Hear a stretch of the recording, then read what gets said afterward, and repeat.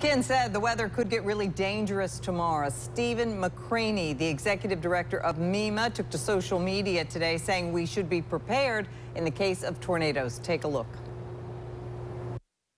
We're preparing for a potential significant severe weather event tomorrow across the state. All Mississippians need to prepare and stay alert. We encourage everyone to pack a disaster supply kit, which should contain a three-day supply of non-perishable food and water, additionally a flashlight, batteries, important documents, medicine, and a phone charger should also be added to your kit.